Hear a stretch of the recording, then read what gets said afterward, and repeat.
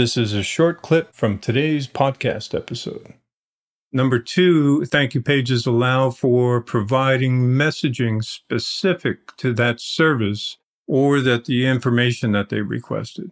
It lets you say, thank you for requesting information about our blank, insert the service or information right here, our water heater service, our solar panels, whatever it may be.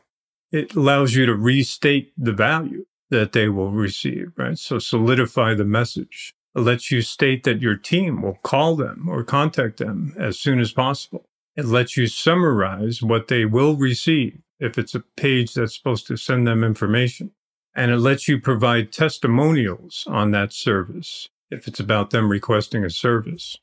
Number three, a unique thank you page allows for calls to action. So instructions on what to do next.